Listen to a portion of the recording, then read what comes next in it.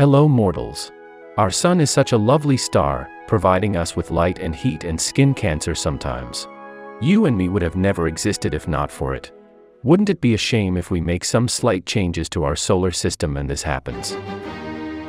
So let's take a look at what would happen if we replace our sun with some rather exotic objects from throughout the universe. Thanks to Magellan TV for sponsoring this episode. If the sun were to suddenly disappear from the center of the solar system, we wouldn't know about it for 8 minutes and 20 seconds. That's how long it takes for its light to reach us. And what else travels at the speed of light? Gravity. That would mean that for roughly 8 minutes, all the planets would continue orbiting an empty center of the solar system before they all drift into outer space. Now that the sun is gone, let's look for a replacement. How about we start with the closest star to the now gone Sun, Proxima Centauri? It is six times smaller than the Sun and yet one and a half times as bright. So even though the size difference, it would appear bigger in the sky. If we'd have a checklist of short-term effects, they'd include severe sunburns, or should I say, Proxima Centauri burns. And the planets flying off into the darkness due to the weaker gravity. Now what if instead of one, we would have had two stars, a binary system? In actuality, more than 50% of the star systems contain at least two stars. For starters, that would make the orbits of the planets very complex if the chaos theory is anything to guide by. From a probability standpoint, the nights would probably be very short, and depending on the type of the stars, the days would look different. The first half of the day could have a blue sky and the other half a red one, or purple if both stars shine on the same side of the planet simultaneously. Oh, and forget about the four seasons. We'd have like 20 flesh melting summers and some chilly winters. So on the checklist we'd have deadly sunburns, multicolored sky, pretty weird orbits, and a lot of vitamin C, maybe slightly too much of it. Since you're watching this, I'm sure you enjoy learning about the universe. That's why I can wholeheartedly recommend the documentary series Secrets of the Universe on Magellan TV, our today's sponsor, that you get to try for free. Find out what lies in the hearts of black holes, or experience the beauty of the destructive power of stars. Magellan TV hosts over 3,000 different documentaries on topics ranging anywhere from space and technology to the history of science. It was founded by filmmakers that believe that science defines the cutting edge of the human civilization. Thus, their team of professional producers and curators brings you new scientific content on a weekly basis, with the smartest perspectives on the world. Enjoy Magellan TV on any device without any ads, and get a full month for free by following the link in the description. Hurry up and become even smarter. Now what if we go bigger, and replace the Sun with the biggest star from the Milky Way, the Pistol Star? For starters, that means no more Earth, as its orbit would be engulfed by the outer layer of the star. Considering it's 10 million times as bright as the Sun, you'd go blind even if you stood on Pluto. You'd probably also die. But the sky would look really brightly blue at least so that's nice. But we can go even bigger. Let's replace the Sun with the biggest known star in the universe, Stephenson 2-18. Now even looking from Pluto wouldn't save you. This monster would engulf the entire solar system.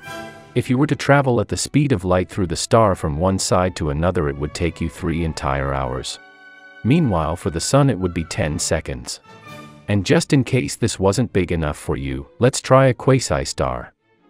These extremely massive giants probably used to live in the early universe. They grew so big that their core collapsed into a black hole and started slowly devouring it from the inside out.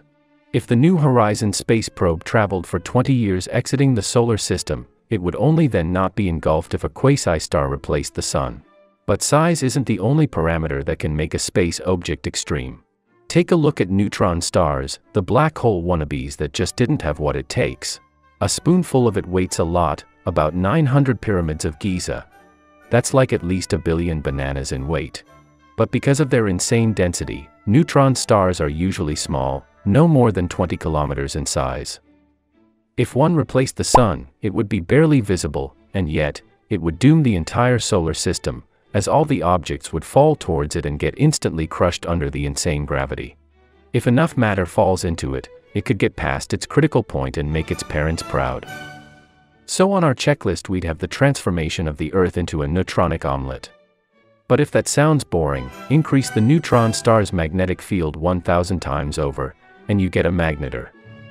It would be 100 trillion times stronger than Earth's magnetic field. So add to the checklist the complete obliteration of Earth's magnetic field and pretty much any electronics on Earth. And if that's still not enough, give the neutron star a good spin so that it rotates every millisecond, and you have a pulsar, which emits radiation beams through its poles. Considering the proximity from the Earth, if such a beam were to intersect with us it would fry the atmosphere and anything on the surface of the Earth with it, in a couple of milliseconds. And if neutron stars were somewhat extreme, let's get to the champions of the universe, the black and white holes. The story with black holes is fairly straightforward. Have one the mass of the sun replace the sun and nothing happens except the slow freezing of the planet due to the lack of sunlight. However, Humans might barely escape extinction by surviving off of alternative energy sources. But make the black hole the same size as the sun and the game over screen comes up much faster. You'll at least have a nice view in the sky during your last days. But replace the sun-sized black hole with the largest black hole in the universe, and your sky would look entirely black, and not only the sky but everything, because no photons would hit your eyes, because you'd be inside the black hole, probably dead. Most likely dead, definitely dead. But that was to be expected. What's less intuitive is what would happen if instead of a black hole, we'd have a white hole in the center of the solar system. As a quick reminder, white holes are the mathematical inverse of black holes. If nothing can exit the one, nothing can enter the other. We don't really know what they would look like since they are completely hypothetical, so we'll just go with the opposite of black. But a common misunderstanding is that a certain anti-gravity force pushes things away from the edge of the white hole. Instead, like any things with mass, white holes attract matter towards their singularity the same way black holes do. The only difference is that infalling matter would never reach the singularity.